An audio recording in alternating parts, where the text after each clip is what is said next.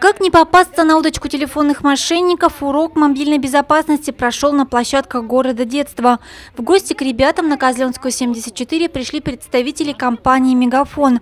Они провели игры и организовали для юных вологжан интерактивное занятие. Одно из первых посвящено истории создания телефонов. И у нас идет, идет, идет, идет, идет время, и придумали азбуку Морзе, как вот девчушки мне подсказали, молодцы. А потом все-таки людям стало э, интересно, как же можно вот прямо из дома позвонить и тогда люди придумали телефон. Практически у каждого школьника есть мобильный телефон.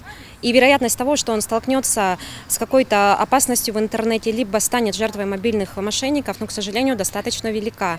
Именно поэтому наша компания регулярно проводит различные уроки мобильной безопасности, мобильной грамотности, о том, чтобы рассказать э, юным пользователям мобильных услуг, какие существуют опасности. Также специалисты рассказали о том, какие номера нужно обязательно иметь под рукой на случай ЧС и как действует мобильная связь. Все это в рамках недели безопасности, которая проходит на площадках города детства.